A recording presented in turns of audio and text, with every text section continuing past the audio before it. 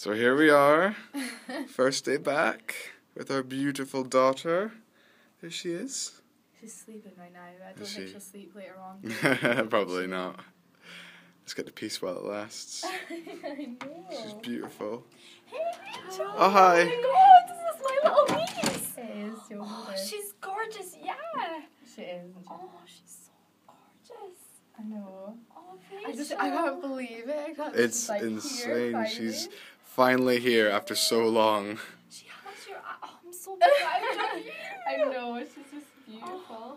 She's just, just, I She's just- Oh, you guys, this Happy auntie. Oh, she's just gorgeous. Oh, can I keep her? No, you can't, you can't, you can't keep her, I can't keep her. Oh, go back to your mummy. Your mummy loves you very much. And her dad. Yeah, yeah come on, could you take a photo? Could you take a photo? Yeah, sure. Here you go. It's all yours. Hello, Miss Martin. How are you? No answer? Okay. Why are you here then, Miss Martin? You tell me. I think you know why. Oh, really? You seem to know a lot about me, don't you? Maybe more about me than I know myself.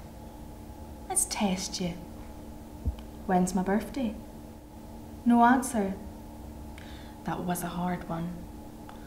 What about my favourite colour? No?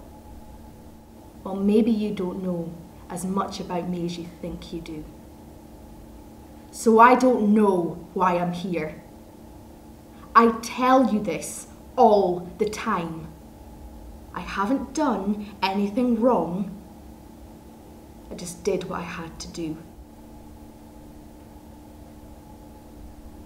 Do you hear that? Hear what, Miss Martin? You know what. Ever since I got here, it won't stop. And I think it's you that's doing it to me. You want to make me suffer, don't you? You want to make me miserable. What do I have to do to make it stop? Should put my hands up at the Brownies honour. Promise that I'll love everyone and I won't hurt anybody. But you have, Miss Martin. I never hurt her! I would never hurt her. And you know that. You are punishing me for something I have been punished for in every single way possible. And nothing will cure the pain I feel inside of me. So why the hell am I here? I can hear it again. How can you not hear it?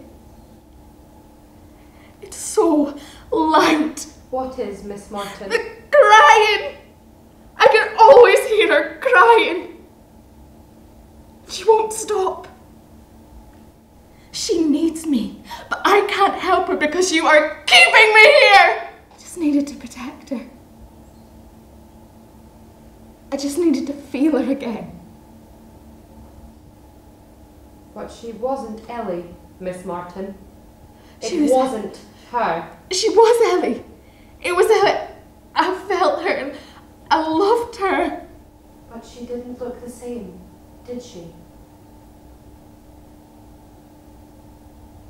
Then why are you here, Miss Martin? Because my baby died. So I took someone else's.